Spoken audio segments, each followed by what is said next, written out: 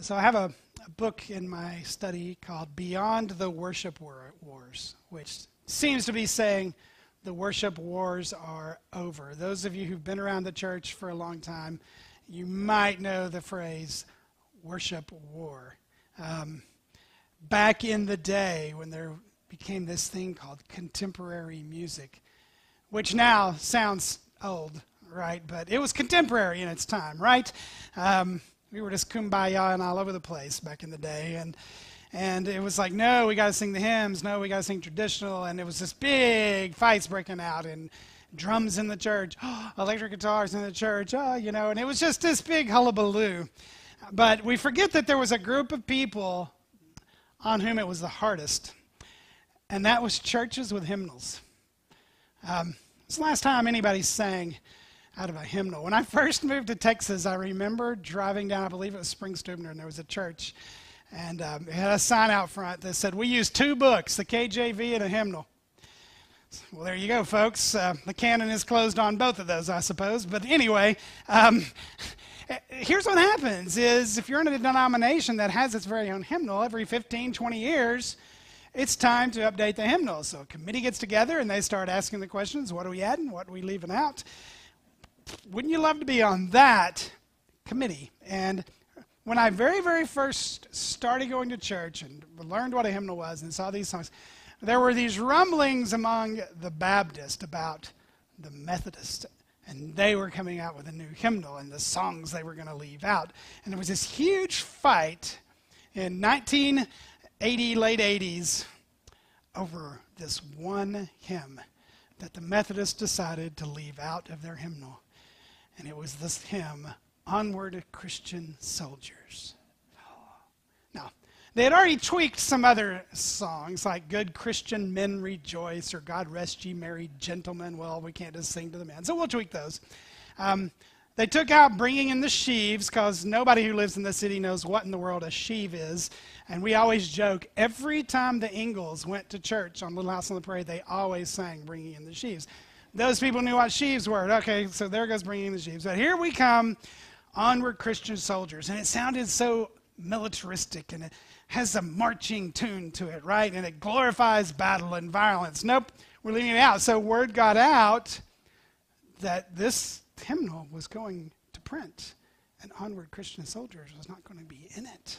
And you can read the stories uh, over 10,000 phone calls to the United Methodist headquarters. Their system was crashed for a couple of weeks because everybody's calling in. 8,000 letters they received about this one hymn only 40 of those letters were for taking it out. So the other 7,960 were like, What do you think you're doing? And the people on the committee said we were called soft hearted anti American communist. so the world hasn't changed that much since the late 80s, right? Everybody's a communist. So they left it in, and onward Christian soldiers marching as to war with the cross of Jesus going on before. Anybody grow up singing that one? Yeah, we remember that one a little bit. Um, like a mighty army moves the church of God. We are not divided, all one body, we, one in hope and doctrine, one in charity. Sounds beautiful. Sounds great. Sounds like a great prayer uh, to pray. Um, but we don't use this imagery very much, right? We, we don't talk as much about battle and war and march, so we don't sing marching songs. At least I don't think in the right way. Um, it's a good day to ask are we fighting the right battles and who's fighting with us?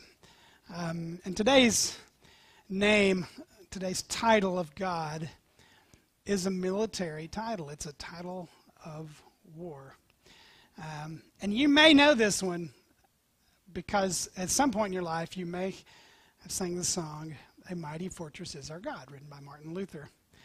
And it has two words we never sing. The first one, a mighty fortress is our God, a bulwark never failing. What's a bulwark? That's what he is. Yeah, okay. Um, but the second verse, I believe, or third verse, did we in our own strength confide, our striving would be losing. We're not the right man on our side, the man of God's own choosing. Dost ask who that may be? Christ Jesus, it is He. Lord Sabaoth is His name. From age to age the same. And He must win the battle. Um, so in Martin Luther's day, you could just throw Lord Sabaoth in a hymn and people would just sing it, right? Um, take heart, Joey. You can write songs with Hebrew names in them and people will sing them. So 200 years from now, if we're still around, we'll still be Joey Hensley at the bottom right corner on the screen, and we'll be singing this song, right? Lord Sabaoth, excuse me, Lord Sabaoth, Yahweh Sabaoth, um, the Lord of hosts is what most of your Bible translations that you might have with you say, Lord of hosts. It's kind of familiar. Um, some will say Lord Almighty. I think that's reserved for a different one. We'll come back to that later. Um, I have with me today the um, Christian Standard Bible, the HCSB, now the CSB, and it has Lord of Armies. Uh, if you have the message, it says Lord of Angel Armies. Um, if you sing the Chris Tomlin song, you know God of Angel Armies, always by our side. Um, when the Bible speaks of hosts, it uses it a couple of different ways, three really. Um, first of all, it uses the starry host, the, the, the, the stars without number, and it calls them the hosts, and he is the Lord of every star. He knows every star by name, and it says he put each one of them exactly where he wanted them right? And so he's the Lord of the starry host, the heavenly host, but then uh, Lord of the angel armies. Um, a couple of passages that describe uh, the armies of heaven they use uh, whenever it's whenever like you see them all together it says there were myriads of myriads like there were just so many angels it was like the stars can't count them. You couldn't even count these angels. It says there were multitudes of multitudes. Now, a multitude must be big, but what if it's multitudes of multitudes? It's just, they just go on and on like the stars do. And then sometimes it's, it's, it's a host of battle that's arranged um, here on earth. He's the Lord of hosts. He's Lord of the heavens. He's Lord of the earth. He's Lord of angel armies. He is the Lord of that army this army that fights on our behalf. So then you immediately start feeling uh, some comfort, right? He's fighting for us. Who's saving us? Who's fighting for us? Are we on the right team? It would be good. And so um, I want to tell um, two stories this morning about the Lord of hosts. And then I want to look at a couple of New Testament themes that will bring it uh, closer to home for us. Um, the first story is a very familiar story. It's the story um, that you know of David and Goliath, um, for Samuel 17. You know the story. Um, Philistine army, Israel army, they're just standing there looking at each other day after day because they've come up with a plan. Um, you bring out your best, we'll bring out our best. Let them fight, winner take all. The only problem is the Philistines have a giant. Um, Apparently, even the giant had brothers. But there's Goliath, and he's big and mean, and he's a mocker and a scorner and a bully, and he comes out every day and makes fun of the other side because they won't send anybody out to fight them. Him.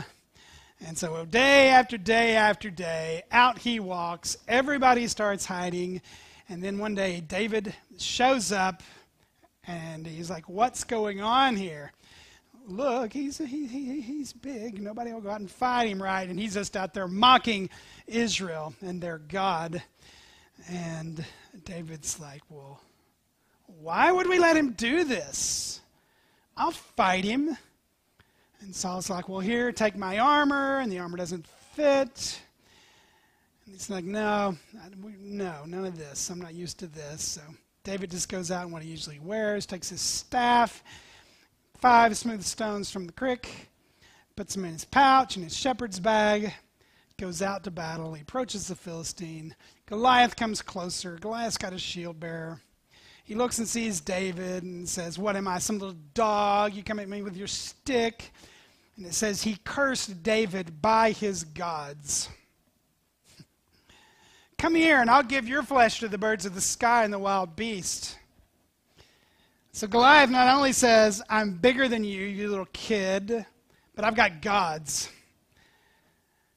And your God is obviously chicken because I've been doing this for 40 days.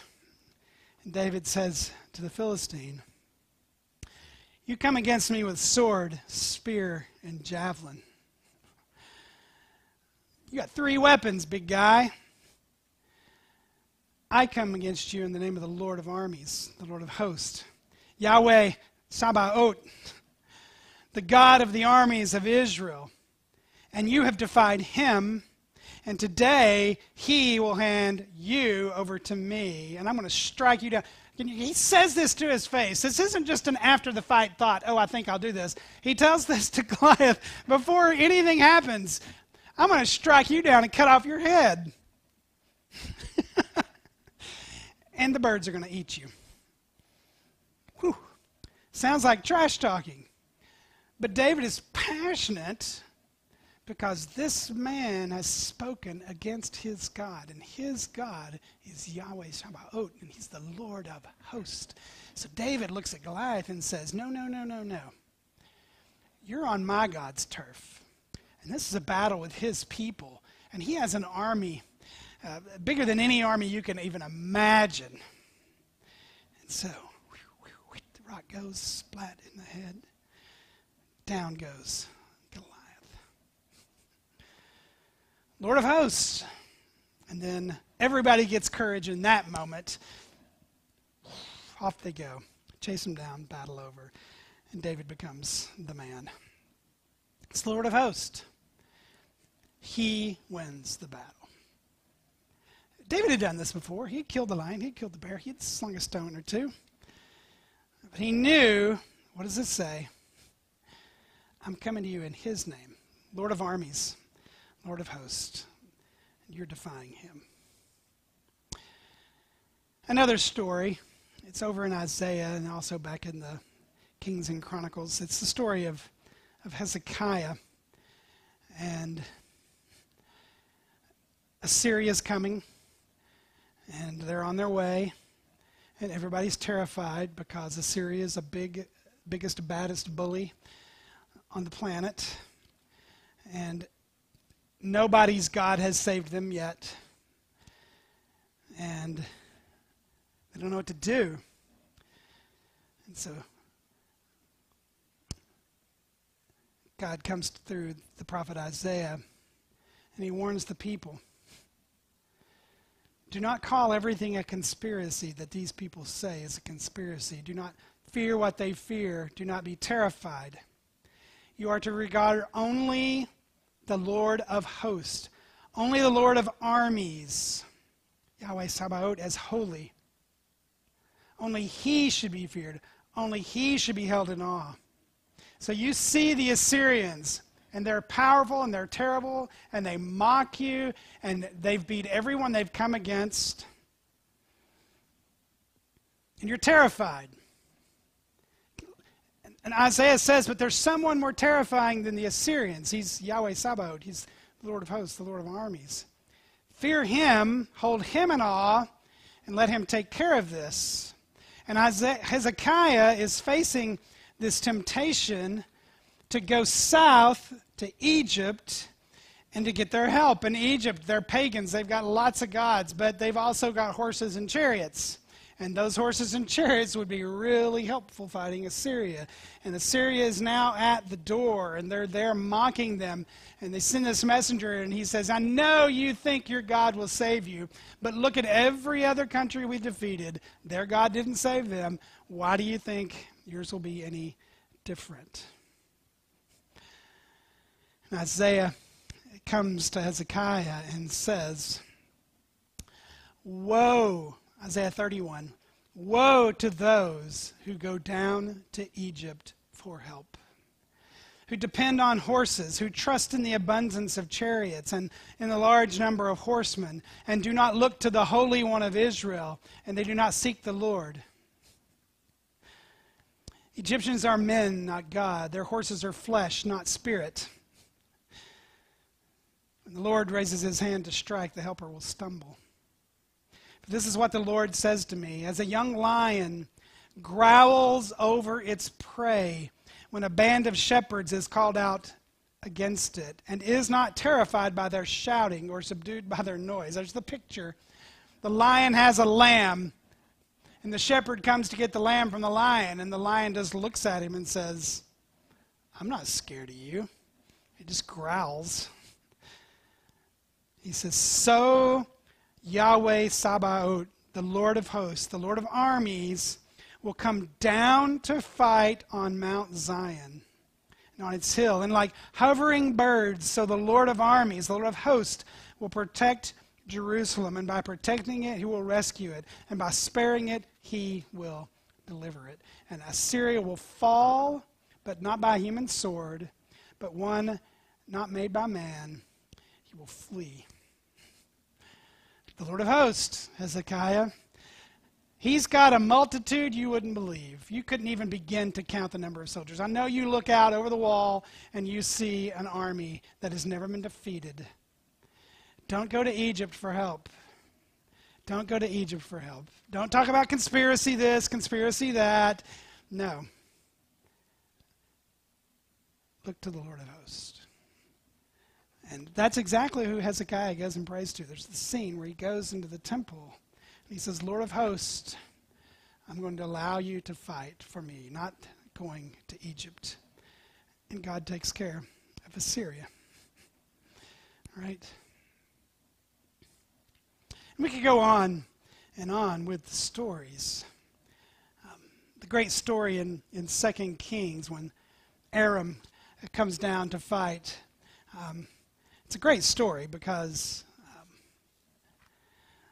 everywhere the king of Aram is going to go to wage war, he goes here and sets up camp. And God tells the prophet Elisha, and Elisha goes and tells them, and they know where they are. And every time he changes, somehow they know. How is this happening? And somebody says, It's the prophet Elisha.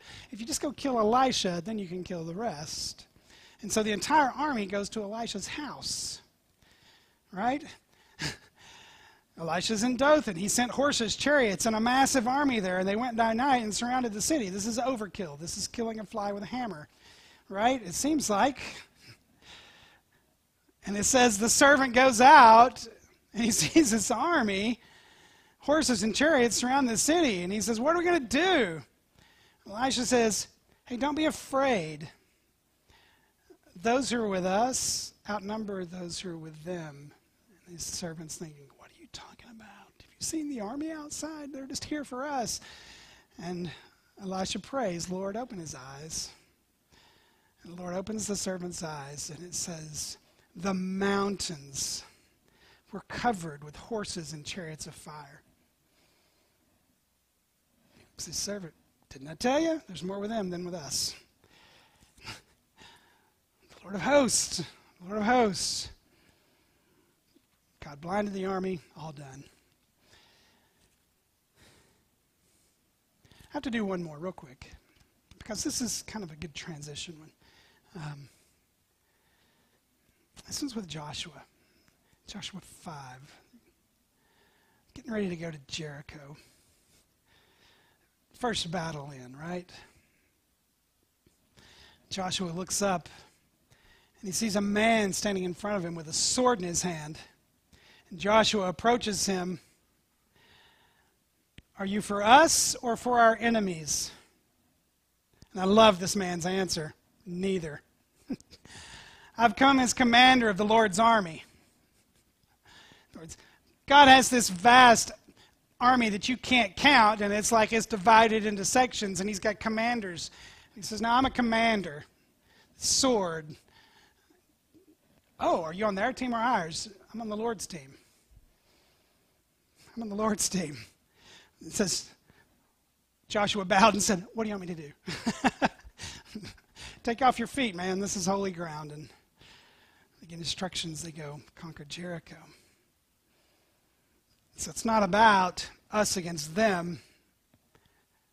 It's about the Lord's got an army. Am I fighting the right battles? Am I choosing wisely? It's not about can I get him on my team. It's about am I on His? Am I in a surrendered place where He is fighting my battles? We could go all through the Psalms and just keep finding uh, these references, but um, let me go to the New Testament because, oddly enough, uh, this name appears in our New Testament, and it appears twice. Yahweh Sabaoth, only Greek, um, Lord of hosts, Lord of armies.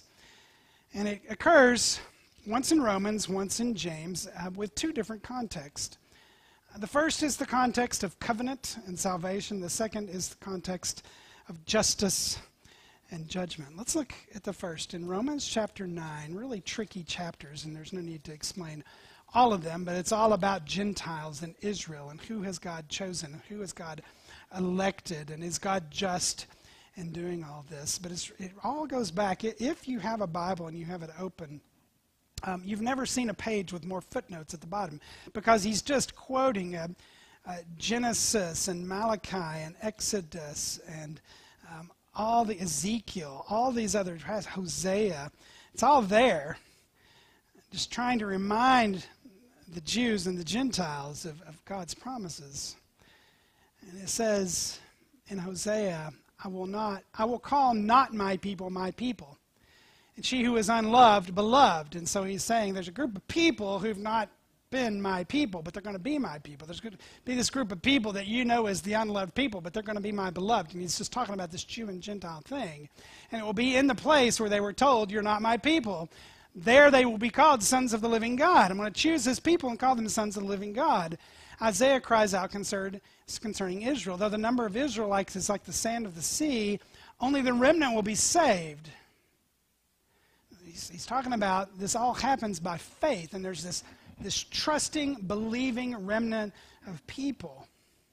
That when everything is wiped out, there's still this people that God has that come by faith. And it says, just as Isaiah predicted, Romans 9:29, if the Lord of hosts had not left us offspring, we would have become like Sodom and made like Gomorrah. If the Lord of hosts, the Lord of armies, the Lord of multitudes, of myriads of myriads of an army, if he had not decided that there would be a remnant, that there would be a, a believing group, and that he would have a new covenant and a new thing going where the Gentiles would come on by faith and, and they would all become this one new people, it would have never happened. So there's this picture that this is all just bigger than you and me when it comes to salvation and being in God's covenant and believing in Christ and coming into that. There's something bigger going on than that. There is all secured and all assured and all takes place because the Lord of hosts has arranged it to be this way. And if you go back um, to Jeremiah 31, where he's talking about the new covenant that's coming, look, the days are coming, Jeremiah 31, when I will make a new covenant with the house of Israel, with the house of Judah. And it will be not like, not like the covenant I made with their ancestors when I took them by the hand to lead them out of Egypt. My covenant that they broke, even though I'm their master. Instead, this is the covenant I will make with the house of Israel after those days, the Lord's declaration. I will put my teaching within them, and I'll write it on their hearts. So, this is teaching will not be external to you. I'm going to put teaching inside of you.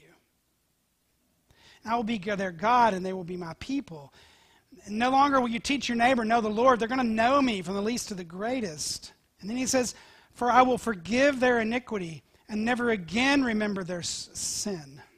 There's a new covenant of forgiveness, of never remembering sin again, of making these people, and this is what the Lord says the one who gives the sun for light by day and fixed the order of moon and stars for light by night, who stirs up the sea and makes its waves roar, the Lord of armies, the Lord of hosts, Yahweh Sabaoth is his name.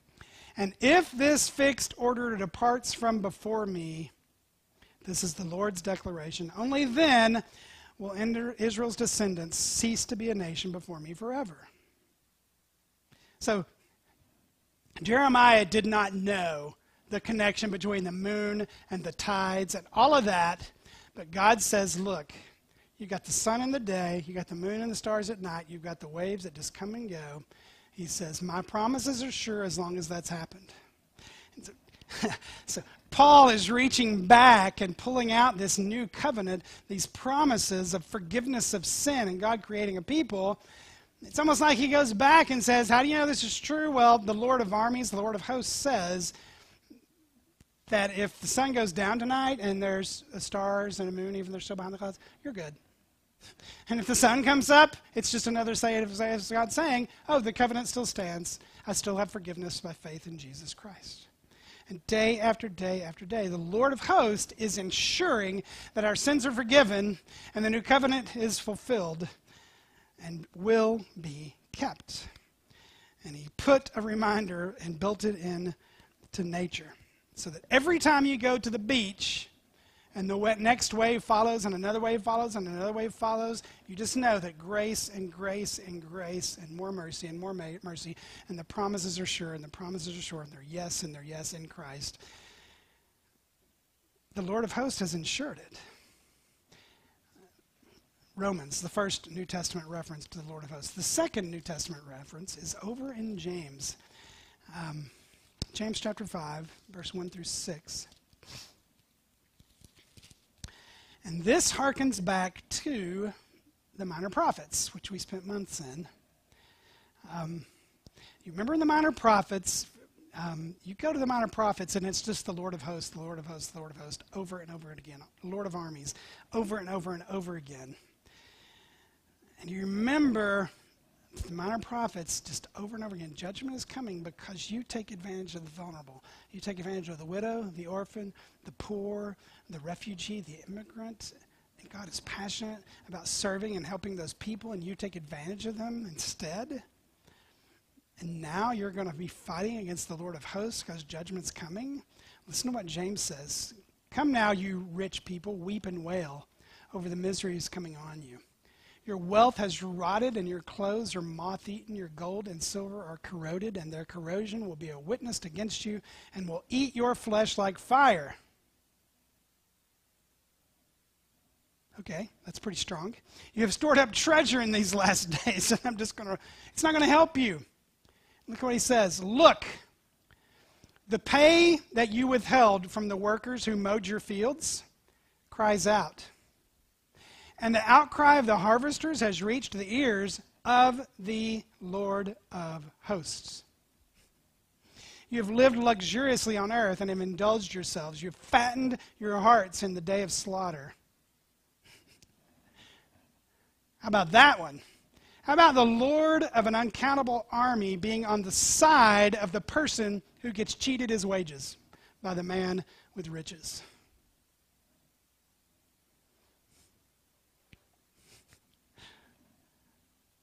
Wow. So the next time someone's debating how much we should pay people in Congress, I'm just waiting for the congressman to stand up and read James chapter 5. I don't even know how that works. Who gets a raise? I don't know. I just know that if you're taking advantage of the poor, the Lord of hosts is going to fight against you with them. Oof. That's a punch in the gut. And so you go back to the minor prophets, and what does it say? You've rejected the word of Yahweh Sabaoth. You've rejected the word of the Lord of hosts, and the Lord of hosts is the protector of the vulnerable. So he secures your salvation, but he also fights on behalf of the vulnerable. It's the two New Testament references. Now, I can't stop here because you know what I have to do. I have to take this into the future, and I've got a bunch of passages from Isaiah, but I'll just give you a couple about the Lord of hosts. Because you go through the Psalms and there's this, this beauty and this delight in the dwelling place of the Lord of hosts, the, the city, the temple of the Lord of hosts. But when you get to Isaiah and you see this projected out into the coming kingdom of Messiah, and you look at this picture of what the nations will do and what we will do and what Messiah will do, what the Lord of hosts will do. Let me just read some of these. Isaiah chapter 2. This is the vision that Isaiah, son of Amos, saw concerning Judah and Jerusalem. In the last days, the mountain of the Lord's house will be established at the top of the mountains and will be raised above the hills. So, of all the hills and mountains on earth, there will be one. And it says, and all the nations will stream to it. And many peoples will come and say, Come, let's go to the mountain of the Lord. Let's go to the house of the God of Jacob, and, and he will teach us about his ways so that we may walk in his paths. For instruction will go out of Zion, and the word of the Lord from Jerusalem. And he will settle disputes among the nations and provide arbitration for many peoples. And they will beat their swords into plows and their spears into pruning knives. Nation will not take up sword against nation, and they will never fight again or train for war. How do we know this? For a day belonging to the Lord of hosts, a day belonging to the Lord of armies, is coming against all the proud and the lofty, against all that's lifted up, and it will be humbled. He goes through this long list of all the different ones will be humbled and brought down. The Lord alone will be exalted in that day. So when you have these pictures in the Old Testament, you go, how in the world is the Lord going to defeat all these enemies? He's the Lord of hosts. He's the Lord of hosts. Here's one Isaiah 9. For every trampling boot of battle and the bloodied garments of war will be burned as fuel for the fire. You know this one? We just got through Christmas. For a child will be born to us, a son will be given to us, and the government will be on his shoulders, and he will be named Wonderful Counselor, Mighty God, Eternal Father, Prince of Peace. The dominion will be vast, his prosperity will never end, and he will reign on the throne of David and over his kingdom to establish and sustain it with justice and righteousness from now and forevermore. How do we know? Because the zeal of the Lord of armies will accomplish this. The zeal of the Lord of hosts will accomplish this. You can imagine a day where God, with an army that can't be counted, brings justice, puts the government under the head of King Jesus. No more war. What am I going to do with this sword? I know, I'll plow with it. How's he going to do that? He's the Lord of hosts. One more on this mountain, Isaiah 25, on this mountain, the Lord of armies will prepare for all the peoples a feast. Now you picture that. An, an army that can't be counted. And the Lord of that army comes out and says, Let me make you a meal. a feast with aged wine, prime cuts of choice meat, fine vintage wine. It's going to be good, y'all. And on this mountain, he will swallow up the burial shroud, the shroud over all the peoples, the sheet covering all the nations. And when he has swallowed up death, once for all, the Lord God will wipe away the tears from every face and remove his people's disgrace from the whole earth, for the Lord has spoken.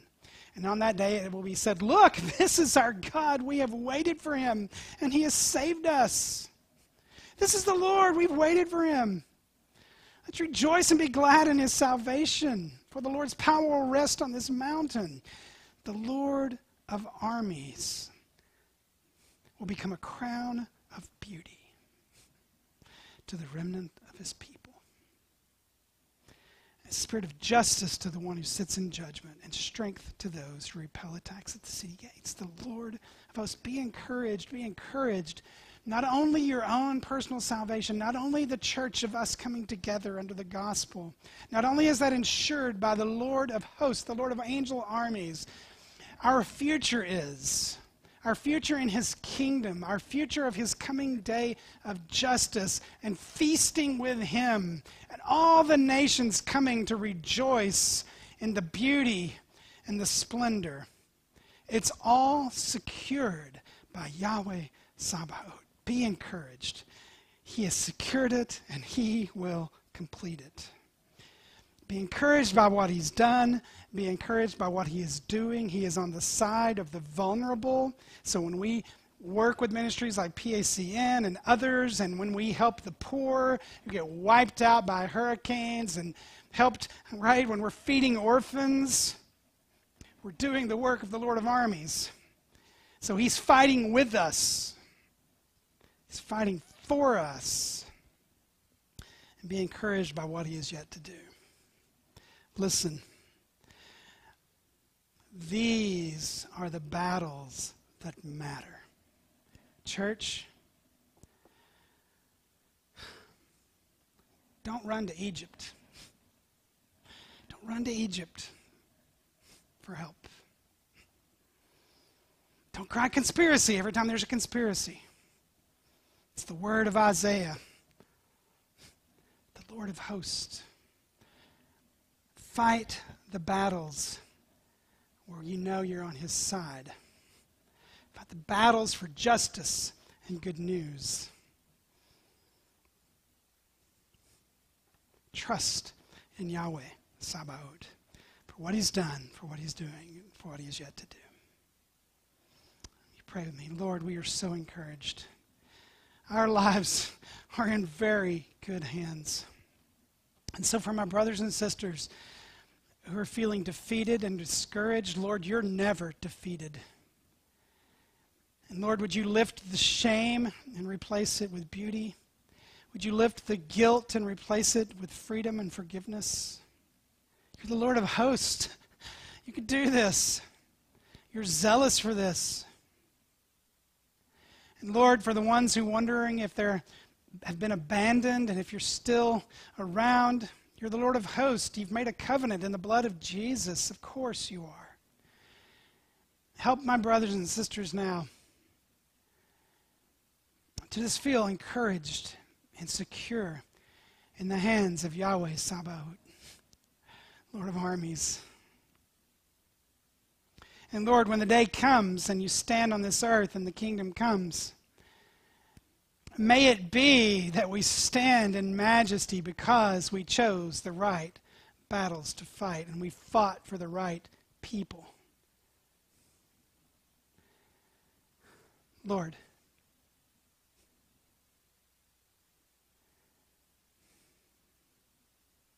it's so heartbreaking to watch your people fighting battles they've got no business fighting. All the while, it's the vulnerable who gets swallowed up every time. Lord, I pray that we would never, ever try to talk you into being on our side. Lord, I pray that we would fight the battles the Lord of hosts is fighting. And may we fight them with confidence and courage, compassion.